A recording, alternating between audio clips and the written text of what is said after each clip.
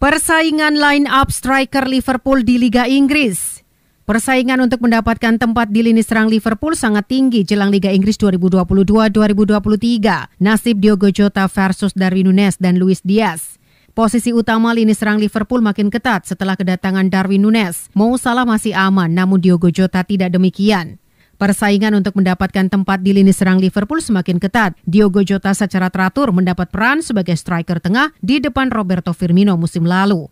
Namun, tempat tim utama berada di bawah ancaman dari Luis Diaz dan pemain baru Liverpool, Darwin Nunes. Diogo Jota telah menandatangani kontrak baru berdurasi lima tahun di klub Liverpool. Penyerang Portugal itu pindah ke Anfield dari Wolves pada tahun 2020 dengan nilai transfer 40 juta pounds. Dia membuat adaptasi di tim Jurgen Klopp terlihat mudah dengan cepat menjadi pemain kunci Liverpool. Tim asuhan Jurgen Klopp, Liverpool akan menghadapi Fulham pada laga perdananya di Liga Inggris 2022-2023 dengan line up terbaru. Tim Liverpool melakukan perjalanan ke Jerman untuk pertandingan pramusim menjelang musim Liga Premier dimulai dengan hasil kemenangan. Gol-gol datang dari Mo Salah dan Darwin Nunes. Pemain Uruguay itu membantu dirinya sendiri mencetak 4 gol. Kemenangan tentu saja akan memuaskan bagi klub. Latihan ini merupakan peningkatan intensitas yang berharga saat Liverpool bersiap untuk pertandingan pembukaan Liga Premier musim ini melawan Fulham di Craven Cottage.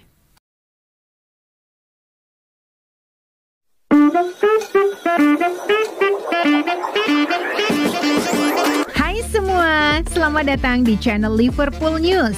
Channel yang setiap hari update berita terbaru dari klub Liverpool. Subscribe, like, dan beri komentar menarik di setiap video terbaru kami. Karena kami punya giveaway di setiap akhir pekan spesial untuk Anda.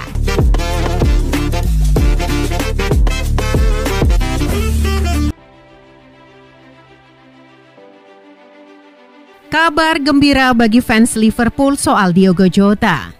Pemain depan Liverpool Diogo Jota telah berkomitmen untuk masa depannya di klub dengan menandatangani perpanjangan kontrak jangka panjang. Kesepakatan baru untuk pemain berusia 25 tahun yang telah mencetak 34 gol dalam 85 penampilan sejak bergabung dengan Liverpool dari Wolves pada musim panas 2020 diperkirakan akan berlangsung hingga 2027. Jota menyusul langkah sesama penyerang Liverpool Mohamed Salah dalam menandatangani kontrak baru dengan klub musim panas ini, menyusul kepergian Sadio Mane ke Bayern Munchen. Ya, saya sangat bangga. Saya harus mengatakannya, kata Jota kepada LiverpoolFC.com setelah menandatangani kontrak barunya. Jelas, sejak saya tiba dua tahun lalu, saya memantapkan diri sebagai pemain penting di tim ini. Itulah yang saya inginkan sejak awal.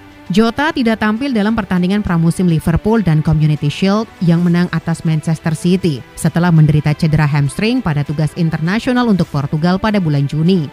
Dia mengkonfirmasi bahwa masalah tersebut akan membuatnya absen selama beberapa minggu lagi. Hampir pasti membuatnya absen dari pertandingan pembuka Liga Inggris Sabtu di Fulham yang baru dipromosikan dan pertandingan matchday berikutnya dengan Crystal Palace di Anfield.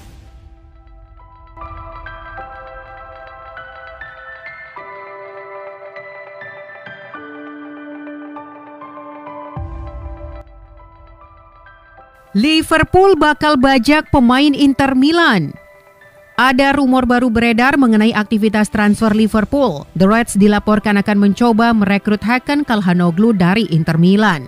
Liverpool sebenarnya cukup aktif belanja di musim panas ini. Mereka berhasil mendatangkan Fabio Carvalho, Darwin Nunes, dan Calvin Ramsey ke Anfield. Namun Jurgen Klopp dilaporkan masih belum mau berhenti belanja. Ia ingin The Reds mendatangkan beberapa pemain baru agar tim mereka semakin kokoh. Calcio Mercato melaporkan bahwa Liverpool kini mengarahkan radar mereka ke Italia. Mereka tertarik membajak Hakan Kalhanoglu dari Nerazzurri.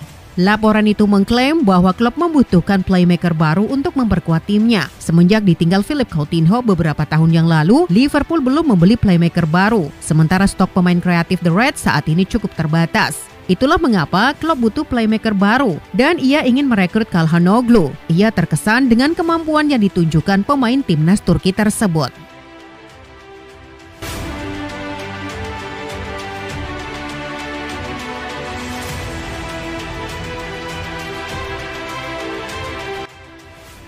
Liverpool diminta datangkan gelandang serang baru.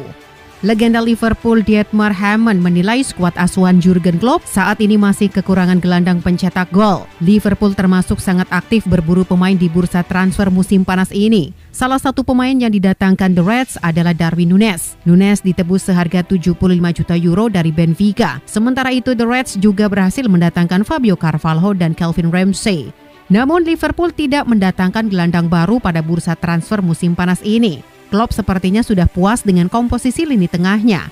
Tapi Hammond percaya mantan klubnya itu harus mempertimbangkan untuk mendatangkan gelandang serang baru agar bisa menambah gol dari lini kedua.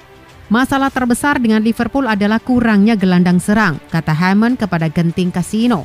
Mereka perlu menemukan beberapa gol dari lini tengah, tetapi cara mereka mengatur sekarang saya tidak bisa melihat mereka melakukan itu. Sebelum Darwin Nunes, Liverpool mendatangkan Luis Diaz dari Porto pada bulan Januari. Hammond juga berharap Luis Diaz bisa memberikan kontribusi besar untuk klub. Masih harus dilihat bagaimana dinamika tim berubah karena Darwin Nunes adalah pemain yang berbeda dengan Roberto Firmino yang menjadikan posisi penyerang tengah sebagai miliknya selama beberapa tahun terakhir. Tambahnya,